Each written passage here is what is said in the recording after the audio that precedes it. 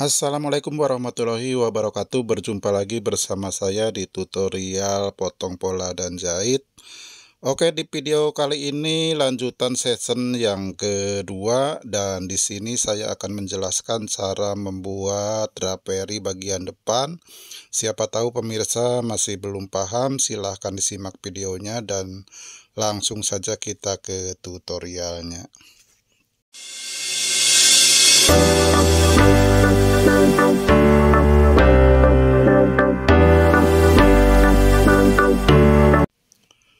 Oke pemirsa pertama-tama kita jahit dulu bagian bahunya kiri dan kanan. Ini bahannya brokat harus pelan-pelan. Dan langsung saja kita sambungkan sampingnya bagian atasnya ya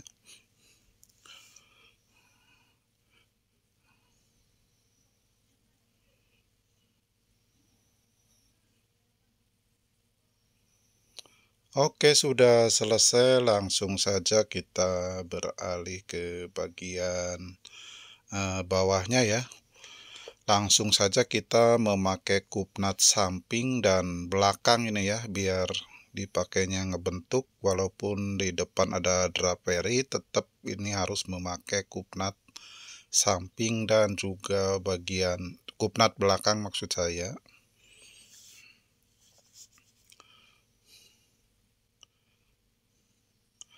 Dan langsung saja kita pasang resleting dulu bagian atasnya sebelum disambung ke bagian bawah.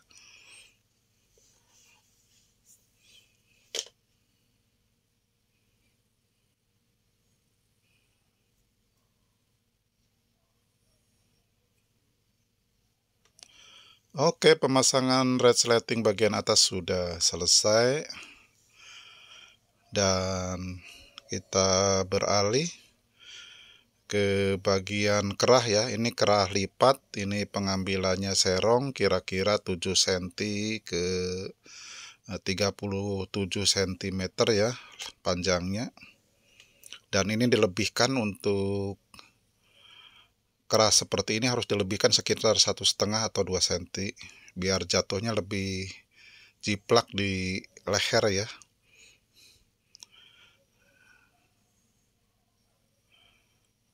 Ini cara menjahitnya juga di bagian badannya kita agak tarik ya dan di bagian kerahnya kita los biar nanti jatuhnya lebih bagus.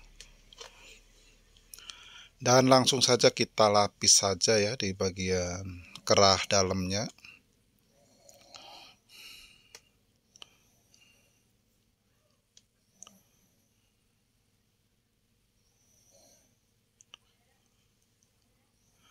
Dan kita potong kampunya cukup setengah sentimeter saja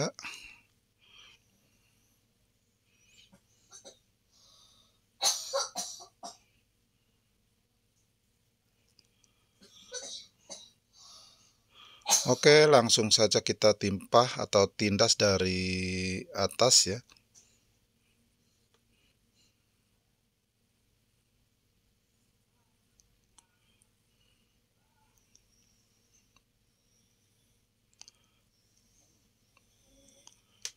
Dan kita jahit juga di bagian bisbannya tadi ya yang setengah senti kita jahit.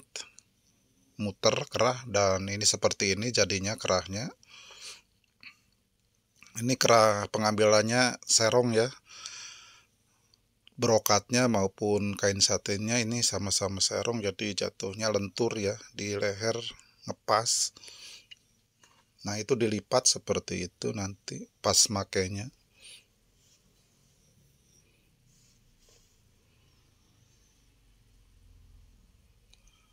Oke langsung saja kita beralih ke bagian red sleting ke bawah ya ke bagian bawahnya kita jahit dulu sebelum menyambungkan sleting yang ke bawahnya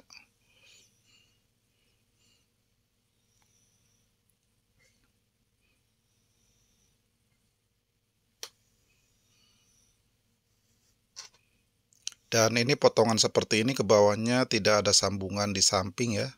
Cukup di belakang saja. Dan ini pengambilan bahannya pun lurus ya. Tidak usah dibentuk. Ini harus lurus.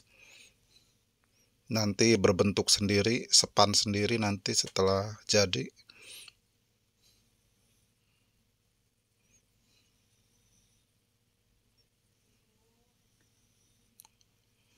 Oke langsung saja kita beralih ke bagian lengan dan ini lengannya lengan pap ya.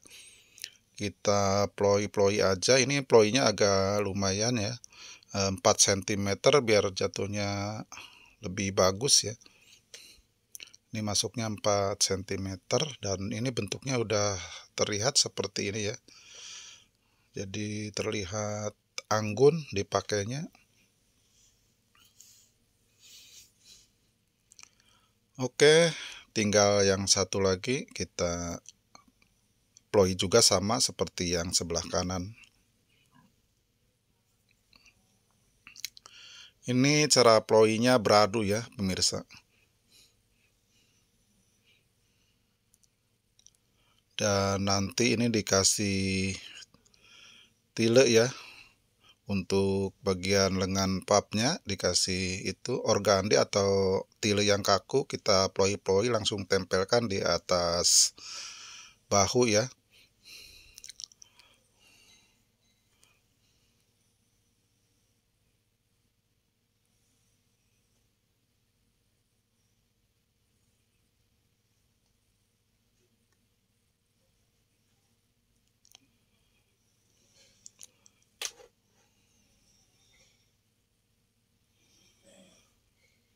Oke, kita langsung saja ke pemasangan lengan ya.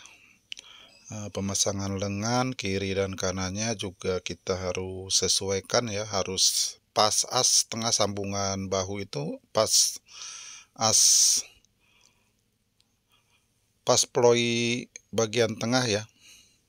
Kita sambungkan di pas sambungan bahu. Nah, ini hasilnya akan terlihat seperti ini.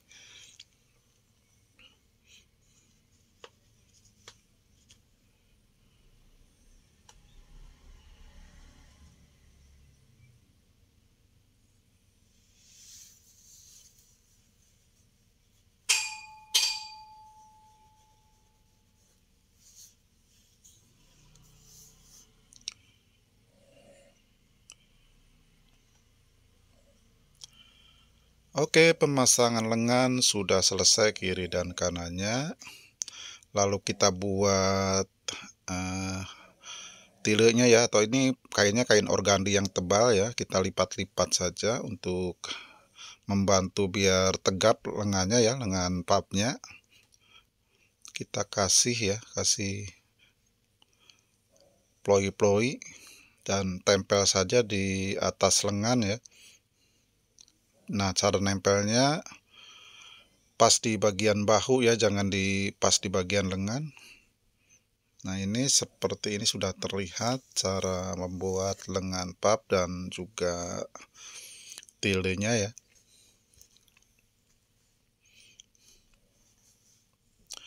Oke, kita langsung saja fokus ke bagian raperi depan dan ini tidak disambung semua ya bagian pinggangnya kita lebihkan atau kita jahit dulu bagian resleting ke bagian samping ya. Lebih sedikit biar bisa ngatur ya. Kita ambil dulu ini lebihnya sekitar 25 cm karena saya melebihkannya sekitar 30an ya. Ini saya angkat 25 cm lalu atur ploinya ya di bagian draperi depan Nah ini perhatikan seperti ini cara membuat draperi bentuknya seperti ini ya.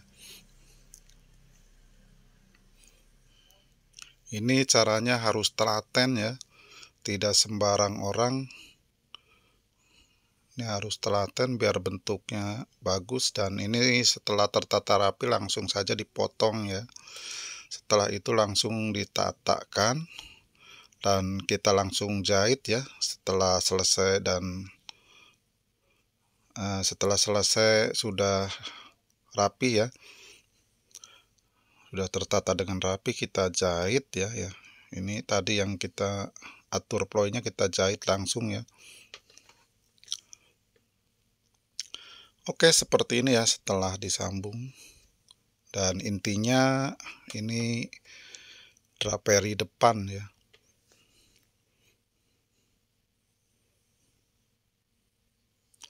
Oke langsung saja kita clean bagian bawahnya ya. Setelah kita ukur panjang bajunya ini untuk bagian belakang tadi sudah pas ya. Eh, panjang 125 cm dan oke ini sudah selesai. Terima kasih. Semoga bermanfaat. Sampai berjumpa lagi di video berikutnya. Wassalamualaikum warahmatullahi wabarakatuh. Bye